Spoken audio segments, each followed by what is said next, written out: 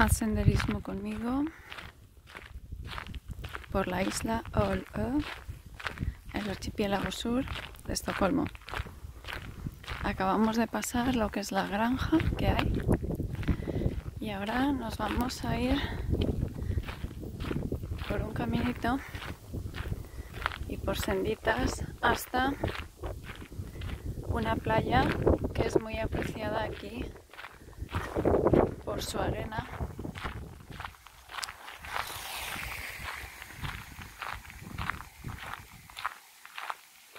y por su forma redondeada.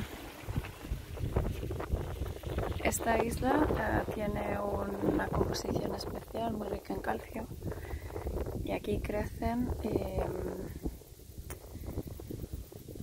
y se desarrollan eh, vegetaciones especiales que son de características árticas. Puedes alquilar una bici o en esta isla o en la isla de Uto, que está al norte, y venirte para acá en bici. No sé si habéis oído pasar ahora las bicicletas. Esta isla tiene mucho bosque que está sin trabajar por la mano del hombre, digamos. Tiene partes húmedas como este humedal aquí y luego tiene las características también de lo que es una isla en, en la costa. Esta isla se accede a través de un bote, bueno, con transporte público, desde Nynäshamn. Y Nynäshamn puedes venir, eh, lo más fácil es en tren, que te lleva una hora desde el City Central en Estocolmo. Así que anímate a venir. Mira, también están las praderas.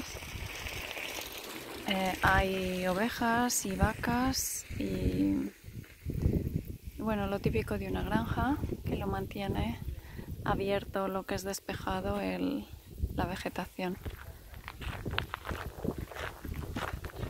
Vamos a acercarnos aquí al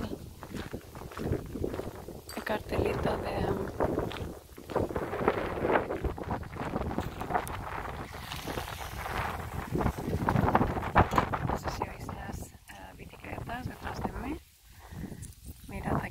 un poco lo que es la biología de, un, de una zona húmeda.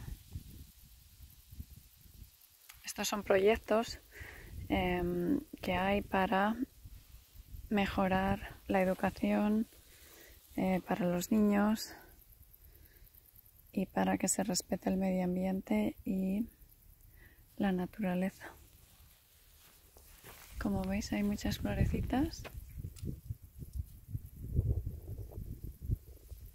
Esto está muy tranquilo.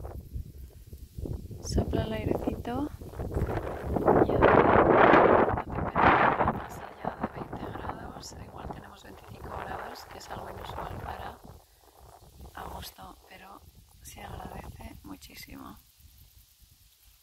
Disfruta conmigo de este paseo por la isla.